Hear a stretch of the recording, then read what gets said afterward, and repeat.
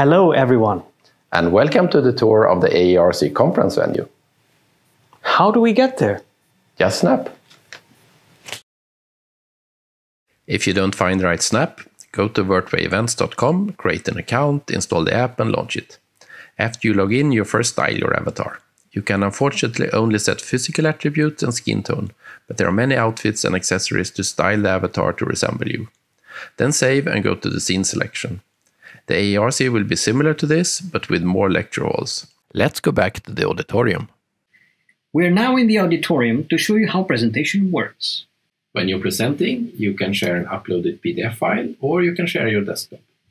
And on a separate screen, you can share your webcam. If you have any questions, just raise your hand. Now let's go to the exhibition area. Roland? Where is he? We are now in the auditorium to show you how presentations work. Sorry, wrong room.